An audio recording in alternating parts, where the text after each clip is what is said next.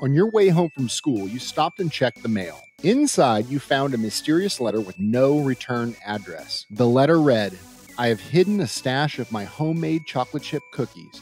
Do you think you could find them? You will put your knowledge of force and motion to the test as you race through the clues. You only have one class period to solve the clues and find the cookies. Your time starts now.